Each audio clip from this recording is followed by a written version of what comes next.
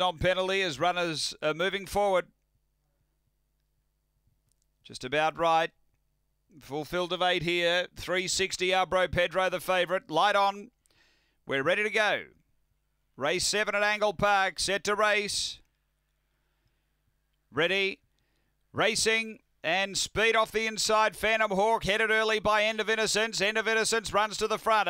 Albro Pedro up to second. The inside Phantom Hawk and about seven away. Bashful Cloud. Then Hot Gallon from Viking Storm. Sassy Kist and Vincent Tyson.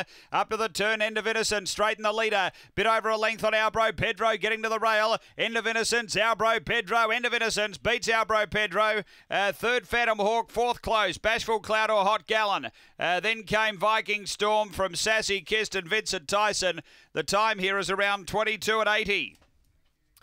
After race number seven, and uh, End of Innocence, the winner. Number three for David Hall. Able to drive through, and she's been too good. Number three. Second going to five, Albro Pedro for Bob Harris, and third to one, Phantom Hawk, also for Bob Harris. It's three, five, one, two, fourth after race number seven here at Angle Park.